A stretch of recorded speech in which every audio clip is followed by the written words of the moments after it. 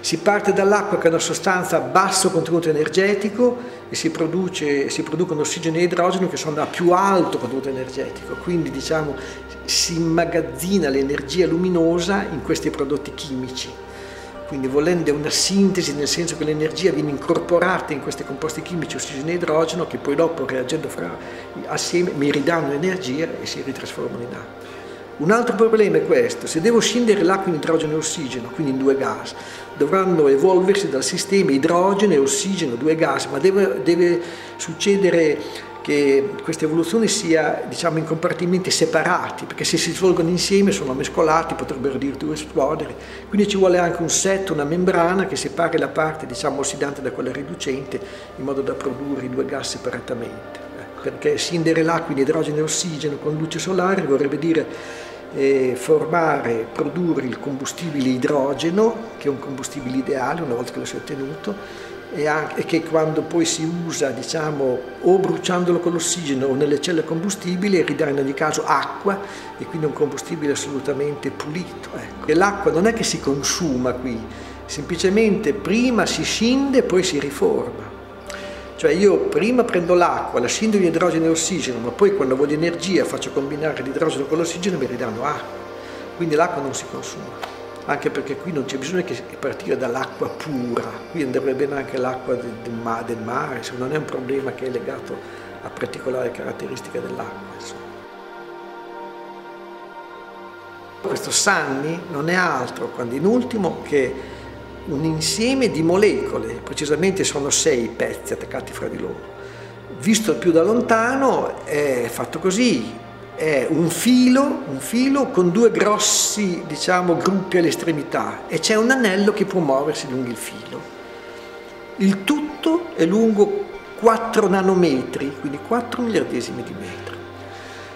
Allora, è stato progettato in modo tale che lungo il filo lungo il filo ci sono, noi diciamo, due stazioni, cioè due luoghi dove preferenzialmente l'anello si, si ferma. L'anello o si ferma in questa stazione o si ferma nell'altra.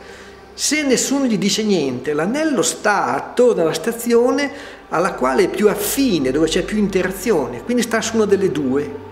Si capisce bene che è attorno alla stazione che chiamiamo alla prima stazione.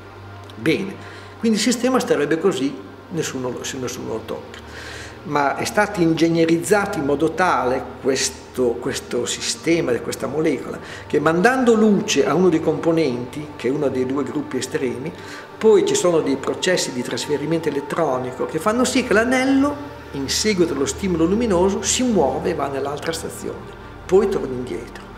Quindi è un processo che in qualche modo assomiglia a quello di un pistone in un cilindro, se volete, e siccome poi i percorsi da compiere sono brevissimi, un paio di nanometri stanello si muove e per fare due nanometri si fa molto presto e quindi si può vedere che è molto veloce questo movimento per cui potenzialmente potrebbe fare 60.000 giri al minuto Ecco, il nostro, il nostro aggeggino richiede anche lui energia, ma con che energia funziona? Energia solare, perché gli basta luce del sole. Un componente di questo nanomotore è quello stesso rutenio trisdipiridile che noi volevamo usare per scindere l'acqua idrogeno e ossigeno, perché poi il concetto è lo stesso, deve assorbire luce e deve poter poi separare una carica più da una carica meno, che è quello che succede anche qui, assorbendo la luce si trasferisce un elettrone, l'anello si muove, insomma tutta una questione così.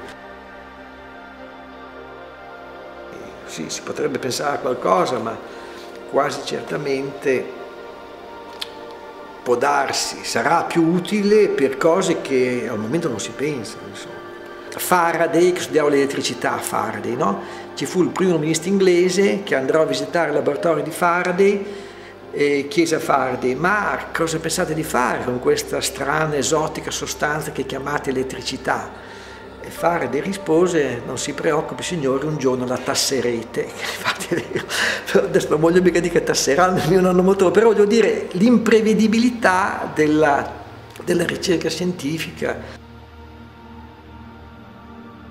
Io direi energia solare e risparmio, questo è il fare. Risparmio soprattutto risparmio. Cominciamo col risparmio, perché c'è un grosso margine L'energia solare è dimostratissimo che ce n'è abbastanza, ce n'è abbastanza, qualcuno ha fatto i conti e basterebbe un'area, mi sembra, di 400 km quadrati, che è enorme ma è piccola rispetto alla superficie terrestre, o, non so, mi sembra sia lo 0,16% della superficie terrestre, che coperto con delle fotocelle che avessero il 10% di efficienza, che è quella che hanno attualmente, darebbe una quantità di energia sufficiente a quello che il fabbisogno la quale fra l'altro è distribuita abbastanza equamente dappertutto, nel senso che si pensa ma c'è molta energia all'equatore, ce n'è poca al polo, non è poi mica vero, perché se uno va d'estate in Svezia fa il bagno nei laghetti, perché c'è sempre no, 24 ore di luce, cioè si può calcolare che so, al massimo la differenza di intensità luminosa, non so, sia, supponiamo sia il 100% all'equatore, sia il 30-40% al polo quindi se paragoniamo adesso col petrolio, che qui c'è, ce n'è moltissimo e lì non c'è niente, insomma qua invece è molto ben distribuito. E quello è il grande vantaggio dell'energia solare, che potrebbe portare, potrebbe essere diciamo, l'opportunità, cioè, siamo in crisi come energia, ma ogni crisi offre delle opportunità, no? questo potrebbe offrire l'opportunità di cambiare anche il sistema, come posso dire, che governi il mondo, ecco, di fare appunto un mondo più uguale, più democratico perché questa risorsa che è la più importante che, che c'è, che è l'energia, sarebbe appunto a disposizione in modo abbastanza ugualitario fra tutti. Ecco.